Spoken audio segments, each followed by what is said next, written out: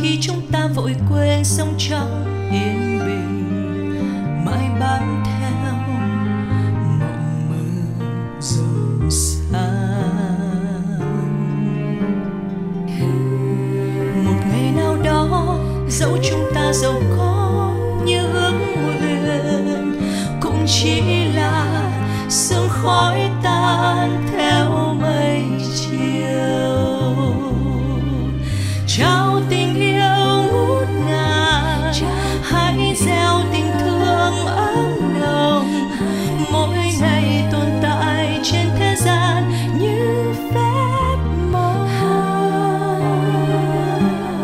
trao tình yêu thắm thiết để mai này không nuối tiếc.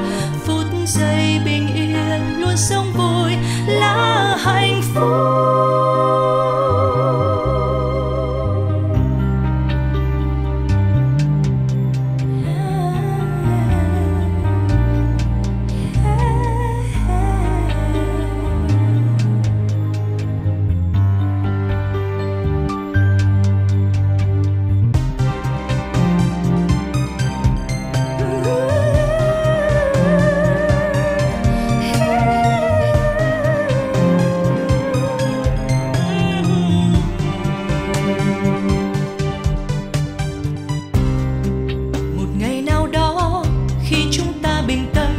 Trong an lành, nơi trái tim thành tâm rộng mở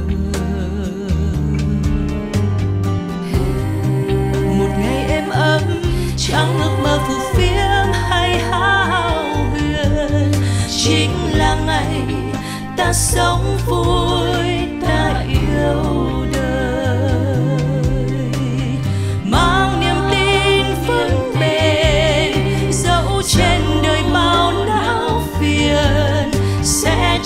Tình thương luôn chở che luôn